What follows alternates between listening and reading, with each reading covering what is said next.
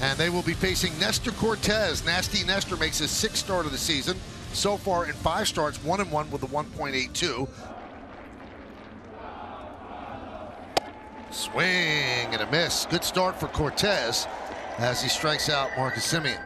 And the Yankee pitchers have allowed just 75 runs, second fewest through 27 games in their history. The 1958 Yankees allowed 63.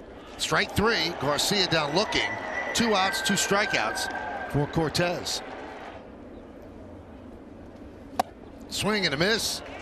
Cameron, was he the type of guy that we talked about yesterday that if you went 0 for 4 against him, you'd say, what, happened?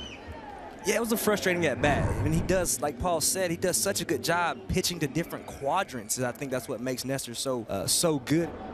And he talked about when they try to straighten him up, you know, step straight at your, at your target. He talked about has velo dropped, has mechanics uh, to you know started to fall apart, and and he couldn't repeat things like he once was. So, like you said, sometimes the best thing to do is just let a guy play, and and and then figure out as you go, especially if he's already having success early in his career.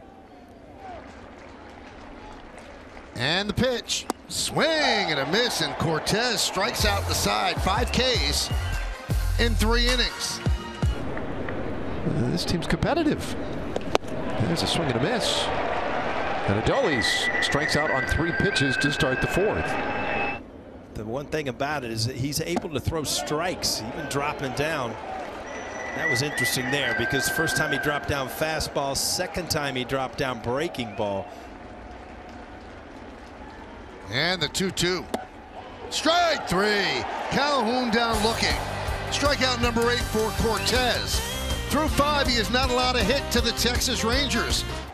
You know, there are guys that came along that still did it well. Garcia down looking, and Nestor Cortes has been near perfect through six. He's pitching a no-hitter. Alert your friends. We go to the bottom of the sixth. Nothing, nothing. Strike three. Ibanez down looking, not loving the call. Well, I tell you one thing, that at bat sequence-wise is as good as it gets. But if you let him get through the eighth, then you have to let him go through the ninth. So this is uh, a very interesting inning for Nestor Cortes. And you see him drop down. From making history here in the Bronx. That one is looped into center field. It's a base hit. And there it goes. That's a no-hitter as Nestor Cortes gives up his first hit, one out into the seventh inning, and the small crowd here in the Bronx gives him a great hand. What a performance by Cortes. An absolute great gesture from these fans, giving Nestor standing ovation right now, up in their feet, appreciating had their lefty has went out and dominated today. Outstanding job from Nestor Cortes.